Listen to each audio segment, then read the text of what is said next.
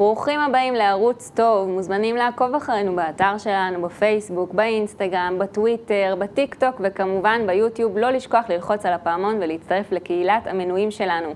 נמצא איתי כאן פיני יחזקאלי, ניצב משנה בדימוס. שלום פיני, יש לנו מלא על מה לדבר, אבל רגע לפני חסות קצרה.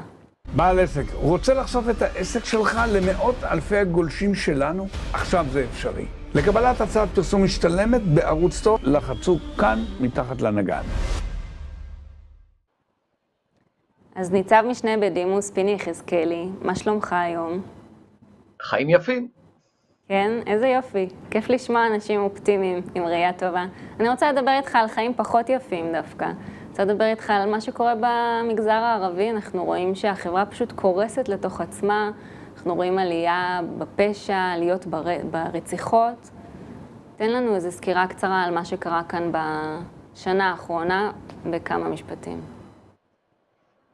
יאללה, זה קצת יותר רחב, אבל החברה הערבית קורסת לא רק לתוך עצמה, היא מקריסה אותנו פנימה, כי uh, הבעיה העיקרית שלה היום היא משפחות הפשע הערביות, ומשפחות הפשע הערביות משתלטות גם על המגזר היהודי. זה בעיקרון הסיפור, וכדי לסגור את המעגל, זה בדיוק הכוח שעליו בונה חיזבאללה בעימות הכולל, מה שנקרא מקרה קול, או מלחמת קול. אני רגע אעצור אותך, פיני. זה, זה נורא מעניין אותי מה שאתה אומר, כי מההיכרות שלי, של מה שקרה בשומר החומות, דווקא משפחות הפשע לא היו מעורבות בכל ההתעוררות הלאומנית הזאת, הם דווקא רצו שקט להצליח לעשות עסקים, ואתה אומר שדווקא חיזבאללה בונה עליהם. אז בוא נתעכב על זה רגע. לב, חיילים של משפחות הפשע ביום וחצי הראשונים בלוד היו פעילים מאוד, אפילו יזמו. מה שקרה זה שברגע שמג"ב נכנס לשטח הם קיבלו הנחיה להתקפל. זוכרת? למה? למה? כי זה היה ברור שהולכים לעשות סדר, ומרגע שיעשו סדר אז העסקים יותר חשובים. אבל אנחנו מדברים על מלחמה שבה נדמה, כמו באוקטובר 2000, ששערי הסכרים קורסים, והאיילון מתמלא בזכוכיות, והטילים מתנפצים, ואנשים נלכדים מלמטה, והכבישים חסומים, והאינטרנט נופל, ואין מים אה, נקיים. אה, הסיפור הזה שמתרגלים אותו עכשיו אה, מערכות הביטחון, זה הסיפור שבו נדמה לחבר'ה שהגיע הרגע ונפטרים מהסרח עודף היהודי-ישראלי הזה שצמח פה ל-70 שנה, ונגמר. ואם היום, נגמר... היום בתוכנית בוקר באחד הערוצים אמרה מישהי על הרצח שהיה של תמרי, שהיא אמרה שמה, שלא ילך ויגור שם, שלא ייסע בכבישים האלה, ואז לא ישאיר אה, אלמנה ויתומים. אז יש אנשים שלא מבינים את מה שאתה אומר, ואת הרצון האמיתי הזה של אותם שונאי ישראל שפשוט רוצים להשמיד אותנו, וזה חשוב להגיד את זה, וזה חשוב שאנשים יבינו את זה, קצת להאיר להם את האור בנושא הזה, כי יש אנשים שבכוח שמים תריס מול העיניים וכיסוי עיניים כדי לא להבין מה קורה כאן, ושיש פה אנשים שפשוט רוצים את כולנו מתים. כן, לא, בוא תמשיך את ה... לא, הם פשוט לא קוראים ולא לומדים ולא מדברים ערבית, וכשהם לא מדברים ערבית עובדים עליהם. ויש שפה אחת ליהודים בעברית, ויש שפה אחרת בערבית, ומי שמבין את הערבית והמנטליות הערבית, אני לא מכיר אחד שמכיר ויגיד אחרת.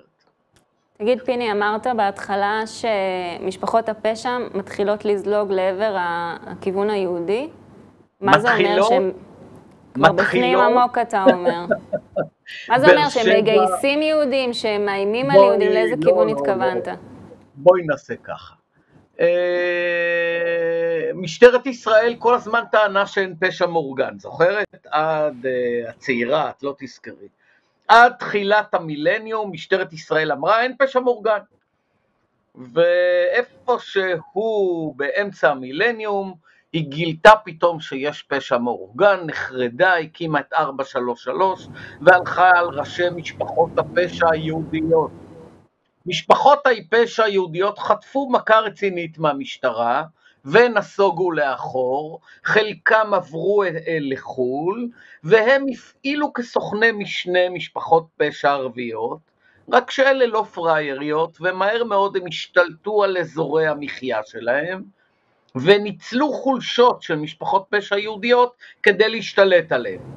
כך למשל, הן מזכירות חיילים למשפחות הפשע היהודיות. אבל כשדוברני מחסל עניינים עם בני שלמה, ונפגע שומר הראש של בני שלמה שהוא בדואי, משפחת הפשע הערבית באה לכאורה לנקום בדומרני, ולמעשה מה שהיא עושה זה מוציאה אותו מאזורי המחיה שלו ומשתלטת. Mm-hmm.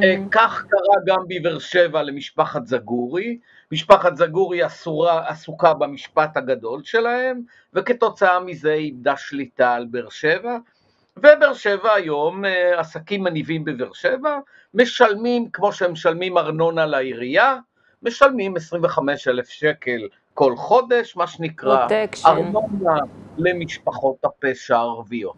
כך שמשפחות הפשע הערביות משתלטות, הן עולות צפונה, הן כבר מורגשות היטב באזור גדרה ולמעלה, והן uh, תגענה על חשש. אני מניח גם שתוך בלוד, אני יכולה להגיד לך, במרכז הארץ, עשר דקות מנתב"ג, עשרים דקות מתל אביב, משפחות הפשע חוגגות היטב. אני גם. שמעתי לאחרונה לא- כמה לא- סיפורים מאוד מעניינים.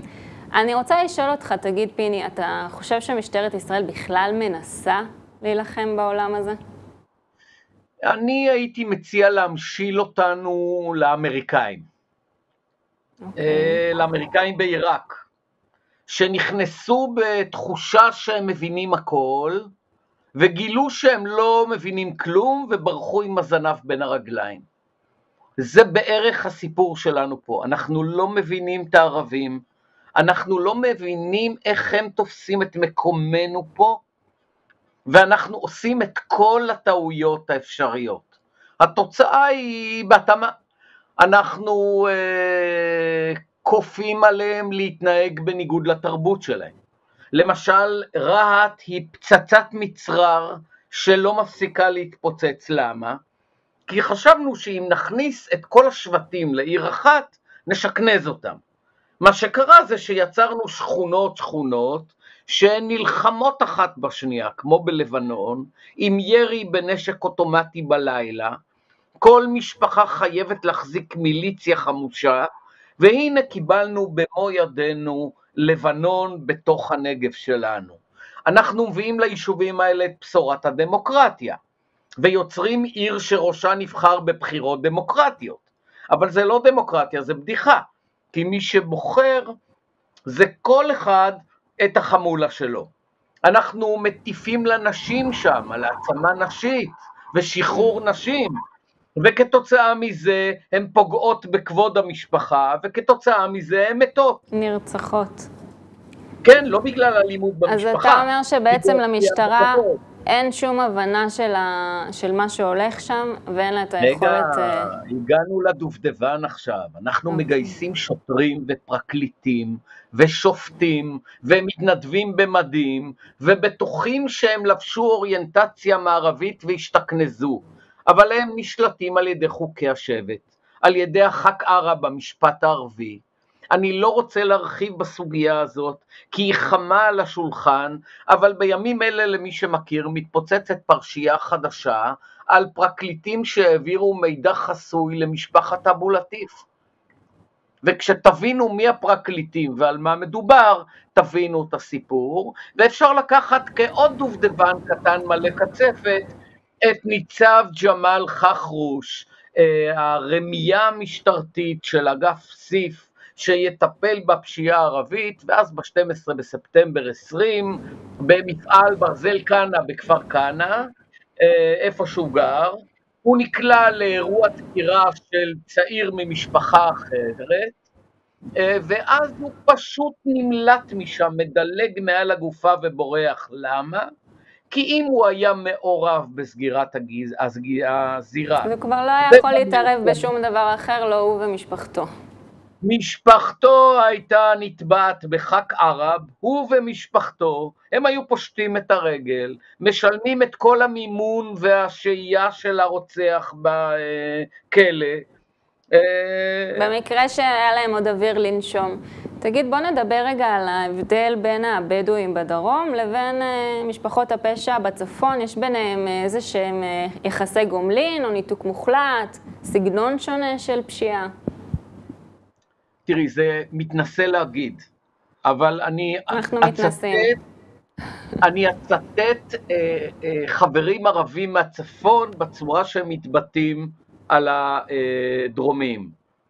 הם אומרים שהבדואים פה הם נחותים, ובאמת הרבה מאוד ערבים מהצפון מגיעים לבאר שבע, באר שבע היום היא עיר דו-לאומית, או בדרך להפוך לדו-לאומית, והם המורים של הבדואים, עורכי הדין של הבדואים, רואי החשבון שלהם, הם באים לפה אל הנחותים כדי להרוויח מהם. Mm-hmm. וזה גם היחס. משפחות הפשיעה הערביות, אגב חלקן בדואיות, אבל בדואיות צפוניות, מתוחכמות מאוד בצפון, הרבה יותר אה, אה, טכנולוגיות, מבינות כל דבר, הולכות בראש של משפחות פשע ישראליות ממש, המשפחות הדרומיות פחות מפותחות מהבחינה הזאת, אבל אה, אולי גם אפילו פחות אלימות.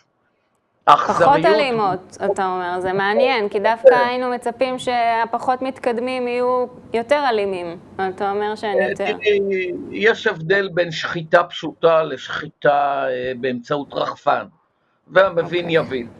כשאתה מכניס תחכום לתאוות הרצח שלך שלא משתנה, ולצורך שלך להרוג, נשפך הרבה יותר דם בצורה, תקראי לו אלגנטית, יאללה, אלגנטית. תגיד, כמה משפחות הפשע בישראל מנהלות את המדיניות אה, בתוך העירייה, בתוך ממשלת ישראל, בתוך משטרת okay. אוקיי. ישראל? אז הבנו כבר, שד... לא הבנו בעצם, כי לא דיברנו על זה. סוציולוגיה. הדבר הכי חשוב במזרח התיכון זה לא המדינה, זה השבט. זה חברה שבטית ולא מדינתית, כל המזרח התיכון, שבה אה, מרכיב האלימות הוא אינהרנטי והישרדותי, כי אני שולט על אמצעי מים, ואם אני אשתף מישהו באמצעי המים, הוא ייקח לי את זה, ולכן אני לא אשתף שום דבר. כלום. אין משא ומתן במזרח התיכון, והמילה פשרה לא קיימת בערבית, ולא בכדי. אין פשרה. לכל אלה בינינו שצורכים פשרה טריטוריאלית, פשרה טריטוריאלית, זה קשקוש בלבוש. אני יודע שאני מדבר לאוויר, אבל אין פשרה בדברים האלה. עכשיו, אם הכל זה שבט, אגב, לכן המדינות הכי חזקות ועשירות ומפותחות במזרח התיכון, הן המדינות שבנויות על שבט אחד או שניים. ככל שכמות השבטים גדולה יותר, מדינות רב שבטיות הן עיראק, תימן, לוב, לצערי גם אנחנו, המדינות האלה אה, כל הזמן שופכות דם בין משפחות בניסיון להגן על הנכסים שלהם. עכשיו, אם אתה שייך למשפחה ואתה אה, עורך דין, או אתה ראש עיר, ואתה לא נשמע לארגון הפשע, ולא נותן... אין אופציה כזאת. כן, אתה מלבין איך, אתה בונה חברה לסלילה למשל. למה עצרו את כביש 6? כי אה, השבטים שעברו שם רצו לקבל את השליטה על העבודות של כביש 6. Mm-hmm. כיוון שאנחנו התעקשנו לעשות מכרז, התוצאה הייתה... רק, רק צריכה שקצת נקצר, כי אנחנו צריכים לסיים, אני רוצה שתסיים את הטיעון שלך. הטיעון נורא פשוט. ברגע שאיש שייך לשבט, הסיכוי שלו להתנהג בממלכתיות מועט מאוד, בלשון המעטה. עכשיו תיקחי את זה לאן שאת רוצה, לראשי אה, אה, ערים, לראשי מועצות, לסגני ראשי ערים. אם תזכרי טוב, היו בנים של ראשי מועצות שנהרגו. תחשבי למה. כן, בוודאי. האמת שזה דיון מאוד מאוד מרתק, יש לי כל כך הרבה שאלות אליך, פיני, ובאמת אתה מעביר את זה בצורה מאוד מאוד מעניינת, אבל אנחנו נאלצים אה, כרגע לסיים, אנחנו נקבע לפעם נוספת. ניצב משנה בדימוס, פיני יחזקאלי, תודה רבה שהיית איתי. בכיף גדול, התענוג כולו שלי. תודה. ואתם הצופים שלנו, תמשיכו לעקוב אחרינו, ערוץ טוב, עושים פה דברים טובים.